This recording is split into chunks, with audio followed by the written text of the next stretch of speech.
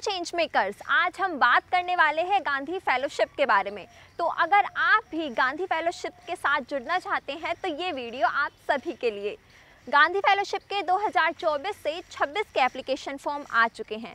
तो अगर आप भी गांधी फेलो बनना चाहते हैं और गांधी फेलोशिप का पार्ट बनना चाहते हैं तो ये वीडियो होगी आपके लिए। तो हमारे साथ लास्ट तक ज़रूर जुड़िए। मैं हूँ आपके साथ रिचा और आप देख रहे हैं यूथ विजन एनजीओ। हम आपको गांधी फेलोशिप के बारे में बता रहे थे। इसमें हम आपको बताएँगे कि आपकी एलिजिबिलिटी क्या क्या रहने वाली है क्या क्या क्राइटेरिया होने वाला है, एज लिमिट्स आपकी क्या रहने वाली है और इसमें आप काम क्या करेंगे। तो आइए आपको बताते हैं बारी बारी सारी चीज़ें। सो चेंज मेकर्स, हम आपको बता दें, जो आपका गांधी फेलोशिप का प्रोग्राम रहने वाला है, ये आपका टू इयर्स का प्रोग्राम है 2024 से 2026 तक, जिसके एप्लीकेशन फॉर्म जारी हो चुके हैं। इसमें जो एज क्राइटेरिया रहने वाला है एज लिमिट है आपकी, आप अनमेरिड होने चाहिए और जो आपकी उम्र है, वो 26 साल से कम होनी चाहिए। अगर आपकी स्टडीज़ की बात करें, इसमें क्या रहने वाली है तो आपकी ग्रेजुएशन कंप्लीट होनी चाहिए, क्योंकि इस फेलोशिप के दौरान आपको कोई भी एग्जामिनेशन के लिए छुट्टी नहीं दी जाएगी।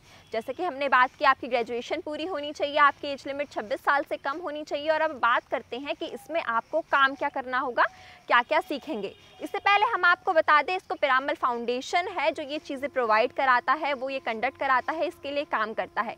इसमें वो तीन चीज़ों पर बेसिकली काम करता है, आपके एजुकेशन पे वाटर पे और एक हेल्थ सेक्टर पे। तो इसमें जो ये तीन सेक्टर हैं, इसमें मेनली आप काम करते हैं। काम क्या होता है? कोई भी जो सरकारी योजना है, राज्य स्तर पर या केंद्रीय स्तर पर, जो भी सरकार की योजना है, इसमें आपको काम करना होता है। एज अ वॉल्टियर आप काम करते हैं, लोगों को जागरूक करते हैं, उसमें उनको बताते हैं। तो अगर आपके अंदर ये चेंज मेकर माइंडसेट है आपका, आप चेंज मेकर वर्ल्ड में कुछ चेंज लेना चाहते हैं इंडिया में चेंजेस लाना चाहते हैं, कुछ हटके करना चाहते हैं तो आप गांधी फेलोशिप का एज अ फेलो बनकर साथ ज़रूर दे सकते हैं। और ये आपके लिए बहुत ही खास प्रोग्राम रहने वाला है। इसमें आपको एक पूरी टीम मिलती है, आपका जो कनेक्शन होता है, वो बिल्ड होता है। तो एक अच्छे स्तर पर आपको काम करने का मौका मिलेगा। अब आप सभी के मन में एक सवाल आ सकता है कि अगर आप अपनी ज़िंदगी के दो साल इसमें दे देते हैं तो आगे आपको क्या काम करना होगा? तो ये चीज़ हम आपकी क्लियर कर दें। अगर आप इनके साथ जुड़ते हैं एज अ फेलो आप इनके साथ काम करते हैं तो जो आपका स्टिपेंड रहने वाला है फ्रेशर्स के लिए, वो पच्चीस हज़ार रुपये प्रति माह रहने वाला है। उसके बाद दो साल तक जब आप इनके साथ काम करते हैं, जिस भी सेक्टर में आप कार्यरत होते हैं, जहाँ पे भी आप काम करेंगे, दो साल के बाद आपको इनकी परमानेंट पोस्टिंग आपकी हो जाती है तो आप इन लोग के साथ जुड़कर और अच्छे से काम कर सकते हैं।